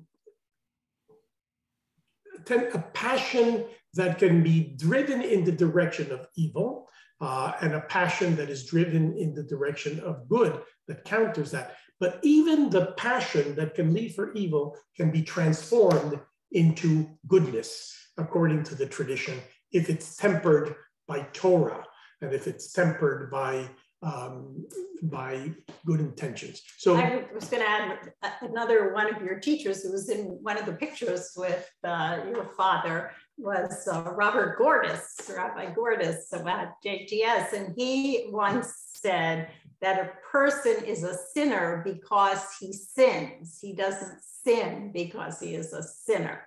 So it, it's your activity that does it. You're not born as a sinner. You're born with a clean slate. So that's sin is, sin is not a condition. It is. So there's there's a general outline of maybe the difference, at least between Christian original sin, which we haven't delved into, uh, and nor nor will we at this point, and the Jewish concept of sin. Uh, and if you want another Christian concept, I would go to Reinhold Niebuhr. There's nobody in the Protestant world uh, that spoke more about um, about original sin and the reality of, of human nature and destiny than uh, Reinhold Niebuhr. So that would be different too than the Catholic perspective on it. Yes. Right. Okay, great. A um, couple other questions now. They're starting to flow in.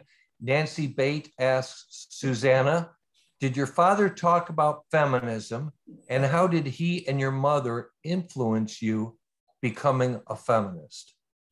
well, I think I was born a feminist. I think it's somehow in my genes. It just came out that way. Uh, but I, I, have to say that when I was growing up and I listened to my father talk about certain very important elements of being a Jew, prayer, study, I would always say, well, if it's so important, why am I excluded? Why do I have to sit separately? And why can't I read from the Torah? And my father always agreed with me. And so when I wanted a bat mitzvah, for example, on Shabbat morning, which was just not done in those days in our circles, my father arranged it. And I wanted an aliyah for my 16th birthday. The only place in New York where I could do that was actually at SAJ uh, it was Rabbi Alan Miller who was there at that time. Um, so there were no arguments. My father one day, I was sitting at the table, dining table, and said, "I don't know what should I be when I grow up." And my father said, "Why don't you become a rabbi?" Hmm. And I said, "Oh, that's not going to happen." And he said, "Well, I think it might. Times are changing." Wow. So, um, yeah. So I, I never, ever, ever argued with my father about any feminist issue at all. Whatever I brought up, he listened and he, he agreed with me. Now, my mother didn't always agree with me. Uh, she was, um, but she at the same time would point out certain things. She was a pianist. There were no women who were concert pianists in her day. Maybe one or two, that's it. Alicia de Larrocha, for example, or Wanda Landowska, but it just wasn't done. So she was hampered in her career and it bothered her. Um, she pointed out, for example, certain prayers in the prayer book that, um, you know, the Mi Shebeirach and Shabbat morning that calls for God's blessing on this congregation, its wives, sons, and daughters. Mm. As if the congregation is only the men who have wives, mm-hmm. as if women aren't part of the congregation. And my mother pointed that to me one day when we were in the synagogue. she was right. but she was much more timid about uh, speaking publicly about such matters, or publicly, I mean, speaking with, you know, speaking out. She was. Now she was that we've opened kind of personal questions, I, I want to extend this a step further, if you don't mind, and that is, how do you feel your life would have been different? And I'm not saying better, because obviously you have a great deal of wisdom and scholarship and joy, but how would your life have been different if you would have been born as a boy? My life would have been very different. Actually, the obstetrician apparently was quite worried that I might be a boy. I believed that I was a girl because he thought I would be sent off to yeshiva somewhere. No, I, I think it would have been very different. And I have to say, I read an article recently. Um, I don't recall the names of the authors. It, Somebody did a study when girls are raised in a sexist environment, uh, certain regions of the country, for example, they will spend their lives, even if they move to a different part of the country and have um, an important job and a profession and so forth, nonetheless, they will never earn the same income as a man mm. nor rise to the same level as a woman who was raised in an atmosphere that was supportive of women and women's careers. So, in other words, how you're raised actually makes a difference. Um, it, I was, I was joke. I was raised in the Middle Ages. Nobody, nobody said. They thought, well, you know, become a kindergarten teacher, maybe a social worker. My my parents said, you should get a you should go to college. You should get a master's degree because you, my mother would say you need something to fall back on in case something happens to your husband. That's how people spoke in those days. And uh, my father said, "Don't don't rush to get married. Wait, wait, be educated, and so on." I think he was concerned also that I should, in fact, be educated, have a career, have a profession. But the idea of becoming a professor, I think, for a woman, there were no women professors around in my parents' circle. So somebody called up my mother one day and said, May I speak to Dr. Heschel? And my mother said, Oh, he's been dead a long time.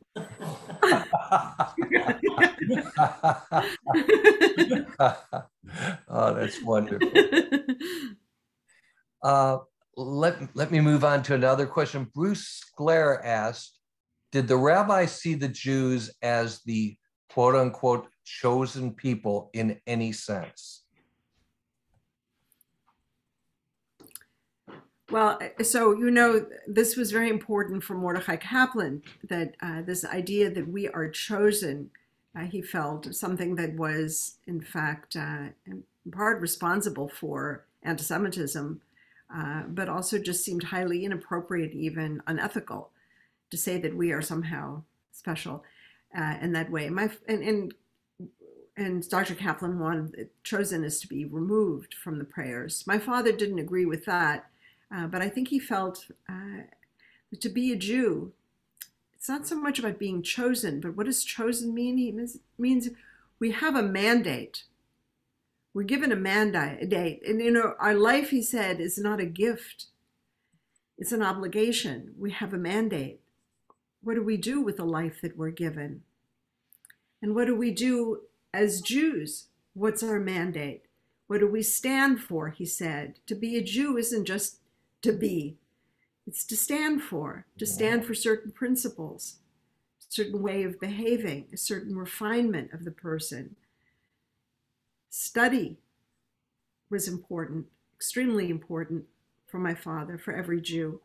He actually found a book in the library of the YIVO in New York that had stamped that this book belongs to the Woodchopper Society of Berdichev. That is, there could be Jews who were not particularly well educated, who were day laborers and so on. But what did they do? At the end of the day, they went to the beis medrash, they went to the local synagogue, and they studied. And they had a library. That's just one example. How you treat another person was very important for my father. It's a Jewish principle. So to be chosen really means to be given a mandate from my father. Thank you. You know, um, Lev, I was, I was going to say that um, I'm old enough and, and was born and raised Roman Catholic and plenty old enough to be able to remember very keenly language in the Baltimore Catechism about the one true faith. So uh, you would not use the same, in the Catholic experience, you wouldn't use the language of chosen, but you would certainly use the language that said, we are among the elect we are the special ones. Uh, and, and, and that I think would, could just be as problematic. Mm-hmm. Thank God you don't really hear that language on any side anymore. And I think that's part of the reason why we're able to make progress right now. We can confront social and political issues together because we're not competing against each other for deciding who has actually been chosen by God to be elect. We're actually able to turn our attention, stand side by side, and focus on the things at hand. And I think that's one of the big differences in the generation that young people are growing up in right now. I don't think they, there's so many. You have a wonderful interfaith organization there, uh, led by Charlie, uh, and the interfaith organization in, in um, Indianapolis. You're doing great things. And I think that's really a byproduct of the, of the great work that was done in the middle of the 20th century that got us to this particular time in history where churches and faith traditions can work together. Mm-hmm. I think that's, that's a great point. Um, and Martin, we have a question for you. And the question is what is it that made you choose to be a filmmaker and to go into this particular type of film? Well, I, I, um, I, I, don't think of myself first as a filmmaker. I don't. I, I think of myself first as somebody who's interested, deeply interested in God, and God in the world, and how people respond. And the vehicle that gives me the privilege of being able to inquire about that, search around and, and sort of legitimize my, myself is the filmmaking.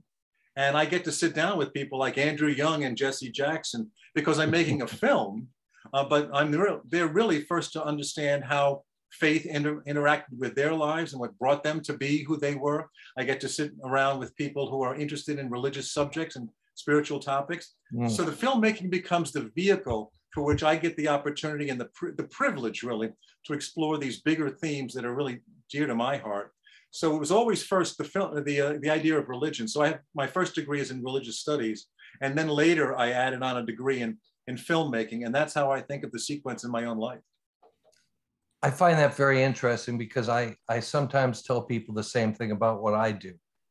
The joy that I receive, for instance, right here, right now, to be able to work with people like Martin Doblmeier, like Susannah Heschel, like Dennis and Sa- uh, Dennis and Sandy Sasso. That I, I think I can understand what you're saying. The the vehicle to do important things and to, to have the joy to talk to people and interact in a way that perhaps you wouldn't have. Lev, I can't ask this question on chat, so do you mind if I interrupt for a second? I, Sure. Can Martin tell us what his next film is? Uh, I, I couldn't hear Sandy, sorry. What is your next film? Oh, are you're going to make me break one of my cardinal rules. Oh, I'm Well, I'll do it for you. I will. Do it for you. Um, we're, we're starting now a new two hour special uh, for public television on that. The title of the film is Sabbath.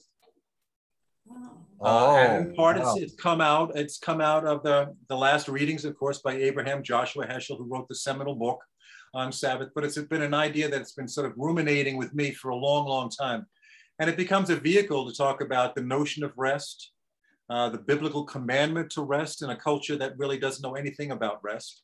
Um, the idea that we're called how we use that biblical commandment to rest as an opportunity, an invitation to gather as community how we're supposed to understand God, find a place of God for God in our hearts, learn about the cycles and the rhythms that we're all that we're, we're breaking the traditions every single week and how we're supposed to live our lives, the patterns of our lives. So I, I think it's it's a rich, rich story, and we're just getting getting going on it now. Thank you. I, I can't wait to see that film. That sounds wonderful. Thanks. Okay, uh, two more questions. One is from Bonnie Maurer, who is a poet and an artist right here in Indianapolis. And she said, I've been trying to read Heschel and read about him. It appears he was very much engaged in writing poetries, and his works are poetic, but he supposedly was criticized for writing in this manner. Could you comment on his style and the reaction to this? Well, let me say that uh, my father was born in Warsaw and then went to Vilna for a year to study at a gymnasium. That's a, high, advanced high school. And there he became involved with a group of Yiddish poets called Jung Vilna, a famous group with a Sutzkever, for example, Chaim Grada was involved and so on. And my father wrote a small volume of poetry that he published uh, that was dedicated to his father. Um, and then in Berlin as a student, he occasionally wrote some poems um, in German as well as in Yiddish. Uh, but it, when I when you read his work, and he wrote books in four languages: German, English, Hebrew, and Yiddish. Those books uh, are all magnificent, but the language of the English books is really quite special and highly poetic much more so than the books that he wrote in the 30s in Germany in German, or even his Hebrew and Yiddish writings. There was something about that English, which is a language my father acquired after he came to this country while he was living during World War II in Cincinnati. But he also studied the English language, and I have some of the books that he bought in those days. What is a metaphor, for example? Mm. Trying to understand how the English language works. He read a lot of Shakespeare, a lot of English language poetry, and also King James translation of the Bible. So he he filled himself with the most beautiful English, and it comes out in his books. Wonderful. Ernest. Oh, and the other uh-huh. thing was that you had, the question was, yes, when I was a child, some people from the seminary colleagues of my father's would say to me, Oh, you know, your father's work is just poetry. and you know, you think about it, who does that? Who goes up to the child of a colleague Huh. and says something disparaging to her about her father? It's just not a normal way to behave. But the other thing is, what do you mean just poetry? Right. So Shakespeare, T.S. Eliot, there's just words, there's just hmm. something pretty, it has no meaning, no substance. So these people obviously knew nothing about poetry for one thing, but they also didn't they didn't know how to understand my father because he really was in a different realm intellectually and spiritually. Hmm. And so in his own lifetime, he was not as appreciated the way he is today. And I'm sorry that he's not here to experience that. Yes. Well, he lives on. Before you close it, um, Lev, um, if I could just ask a very brief response to this question from both Susannah and Martin. Your father uh, is, no, is known to have said, something is asked of us. So my question to the two of you is, what is asked of us at this time as we're about to close this, this conversation? Or I'll, take the easy one first. We'll let Susannah finish it off. I, I'll say that um, the films that we do are all based on a notion, a simple notion that this is really narrative theology. Um, we have the opportunity through film uh, to explore deep theological ideas, or deep as we can get, and see them lived out in the lives of people. So to me, I, I think that uh, seeing Abraham Joshua Heschel standing at the front of the line in Selma, wrapped arm in arm with people of different faith traditions from different cultures, uh, brings to bear the fact that we're all called uh, to be in partnership, partners in the work with God and for the transformation of the world. I think that's what he was fundamentally all about the transformation of the world, and that's what's asked of us. Um, and he lived it out that day. That, that photograph is famous not only because uh, it's an iconic moment in American history, but it's, it stands as a symbol for so much more than just people lining up to change laws in this country. It's about the idea that people of different faith traditions, different cultures, different color can come together. And I think ultimately, I think he, he embedded the notion in, uh, that this is, this is what is asked of us. And, and I think he did it with joy. And he knew that there was some risk to be there on the front lines in Selma, Alabama. We try to bring that out but he understood that, that was what was being asked of him. As, as Susannah said, it was a moral choice that had to be made. And once you, once you think of it in that context, what you're supposed to do becomes rather self-evident. Okay. Um, Susannah, did you want to respond to that? Uh, I'll just say briefly that I, I think there's a great deal of anger in, uh, in in this country right now, and so I think one one mandate that we have at the moment is to try to soften hardened hearts and to I, I, I guess the the fear and my father felt that this country is a bit precarious. It's a young country. The democracy is precarious. We have an obligation as Jews to this country. Rescued my father, saved his life. I owe my life to this country. What can we do to change the mood? I think that's an obligation for all religious people. The other thing I would say is that my father was someone who was always open to other people, to ideas, to books. Didn't have to agree, but he would always listen. There was someone in the civil rights movement, Bernice Reagon, who said, you know, if you're in an alliance with people who agree with you, that's not an alliance. How can we come together with people we disagree with and somehow nonetheless find principles that transcend our differences when we speak working for justice, for example, overcoming hatred? That seems to me right now a terribly important thing for us to do, including for us as Jews. We're polarized.